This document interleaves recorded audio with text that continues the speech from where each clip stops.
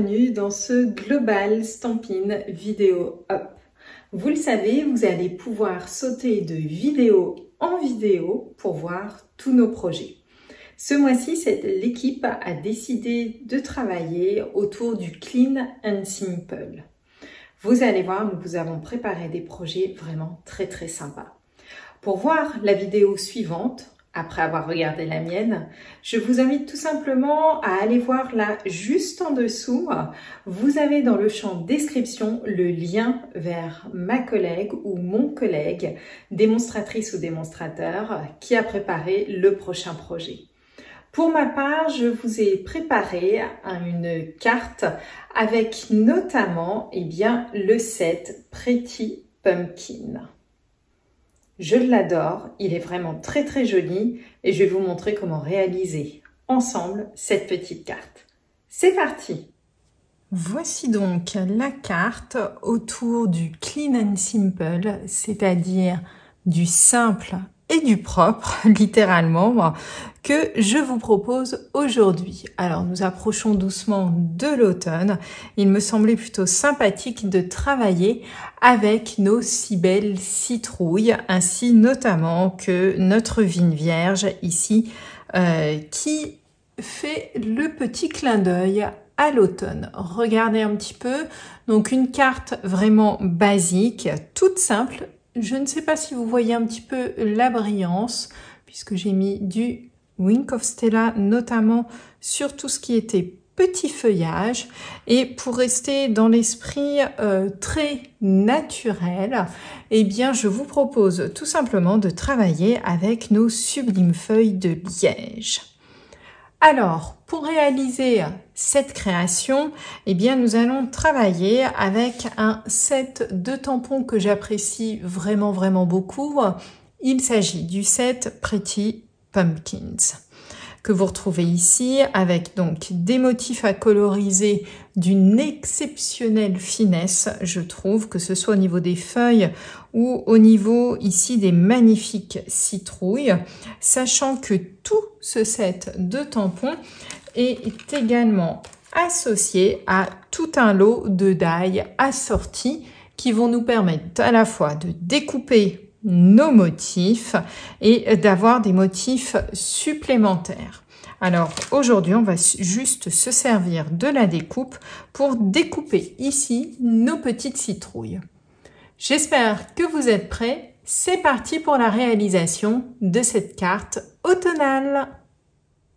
Vous l'aurez compris, cette carte est vraiment très simple à réaliser. Vous avez besoin notamment d'une base de carte, donc format classique, une feuille à 4 coupée en deux que vous pliez en deux.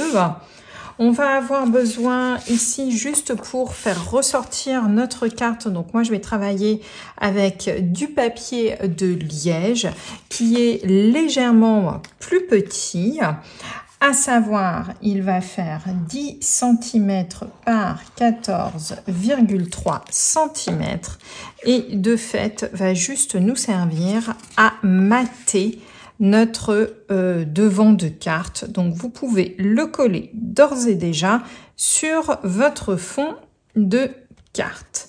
Voilà, ça c'est fait. Ça ne demande pas une grande technicité, mais au moins ça a le mérite d'être fait. Nous allons travailler sur un devant de carte qui va être lui aussi plus petit. Et pour cela, moi, il va faire 9,5 par 13,8 cm. La première étape va consister ici à réaliser notre petite frise. Et pour cela, je vais tout simplement travailler avec le tampon riche raisin et ici le sublime motif des lierres. Je vais tamponner ici mon motif très très simplement pour en faire une jolie frise. Hop, je me mets bien au centre de mon projet comme ceci.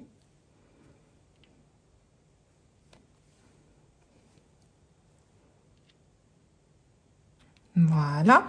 Ma première petite frise réalisé.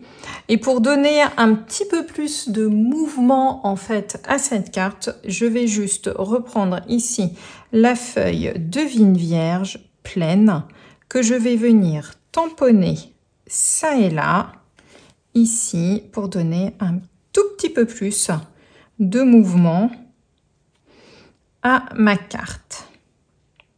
Voilà, donc vraiment de manière très très éparse et nous allons euh, mettre cette partie-ci de côté pour nous concentrer maintenant sur nos superbes citrouilles. Pour réaliser ici nos citrouilles, je vais les travailler donc à l'aide d'un panel de Stampin' Blends. Je prends mon magnifique motif, je le tamponne comme d'habitude avec de la Memento. Si vous voulez être sûr de pouvoir travailler correctement avec eh bien, vos Stampin' Blend, n'oubliez pas de travailler avec la Memento. Voilà, ça c'est fait. Et maintenant, on va passer tout simplement à l'étape de colorisation. Et pour cela, j'ai travaillé à l'aide notamment de une gamme d'une qui fait assez automne, je trouve, à savoir donc le vert olive, notamment pour tout ce qui est feuillage. Nous avons ensuite vraiment ce qui est plutôt ocre du roussillon, qui est donc ici. Nous avons le nuanceur, très très important pour faire ici les reflets un petit peu abîmés, puisque nos citrouilles, ce n'est jamais parfait, vous le savez. Nous allons également euh, travailler avec le cidre à la cannelle et nous allons travailler aussi avec du tarte au potiron. Je vais donc réaliser la colorisation de nos citrouilles devant vous en accéléré et je vous retrouve tout de suite après.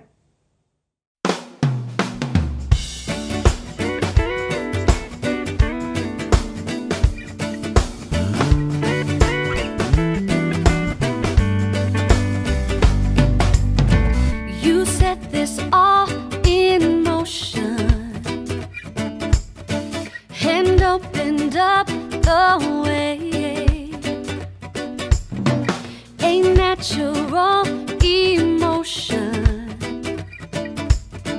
feels stronger every day.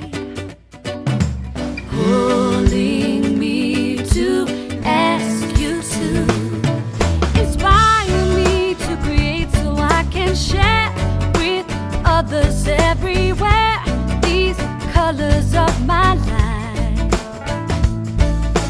I won't leave it up to fate, and now I cannot wait to inspire, create, and share. I know that you can feel it too. I find my inspiration.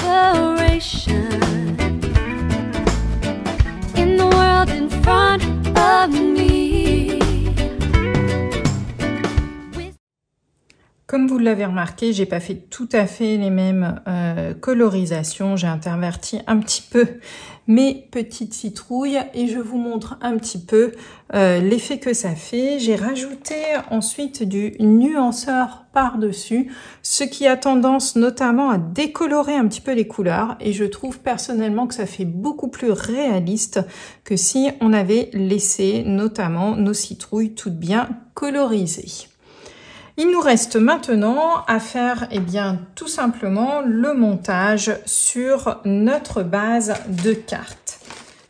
Voilà, j'ai juste monté donc en mousse 3D à la fois ma base blanche et ici mes pumpkins.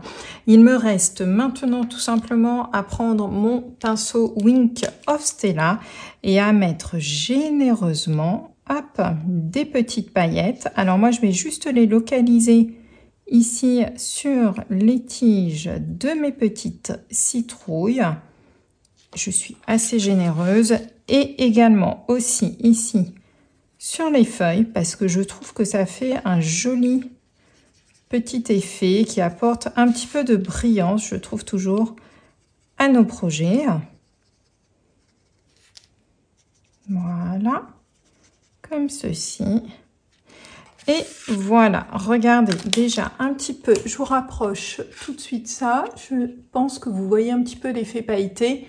Tout de suite, ça met un petit éclat supplémentaire.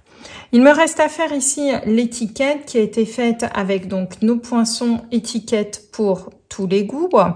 Et je vais tout simplement tamponner ici mon petit texte avec l'aide donc de l'ocre du roussillon. Vous allez voir que sur le liège, ça se fait très très bien avec des couleurs foncées. Hop, on y va on appuie bien et voilà, je vais vous montrer ça tout de suite, mais je pense que vous voyez bien que euh, tout le texte est très bien fait. Alors moi, je vais juste rajouter ici ces deux petits motifs comme ceci de feuilles pour rappeler tout simplement eh bien, les petites feuilles que l'on a ici sur notre petite carte. Je trouve ça assez sympathique. Le liège, faites attention, c'est une matière qui est poreuse, ça va boire l'encre. C'est pour ça que je vous dis surtout d'essayer d'utiliser des couleurs assez foncées. Une fois que c'est fait, vous l'aurez compris, il nous reste tout simplement à le coller. L'avantage ici de nos feuilles de liège, regardez, c'est que derrière, elles sont collées en fait, découpées puis collées sur une très très fine feuille ici de craft qui, euh, eh bien, nous permet notamment, voilà, de faire un petit collage parfait comme ceci. Et pour finaliser l'ensemble, je vous propose tout simplement de rajouter un petit peu de ficelle voilà. Hop, comme ceci.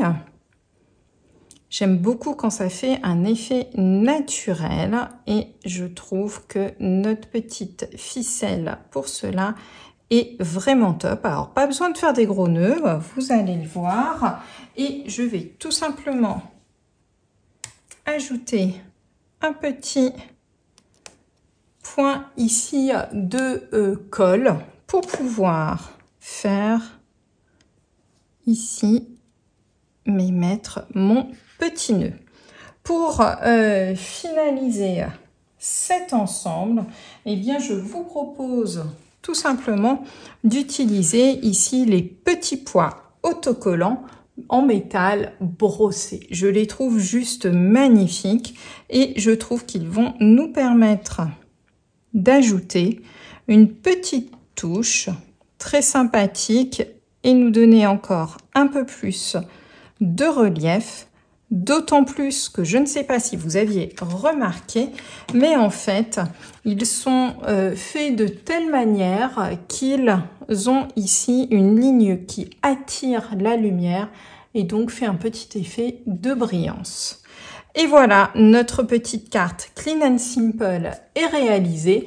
J'espère sincèrement que ce projet vous aura plu et je vous invite maintenant à cliquer juste en dessous de la vidéo dans la description. N'hésitez pas à déployer en cliquant sur le petit plus le texte et vous trouverez le lien de la prochaine vidéo juste en dessous. Et quant à moi, je vous souhaite une très belle journée et je vous dis à bientôt pour une nouvelle vidéo.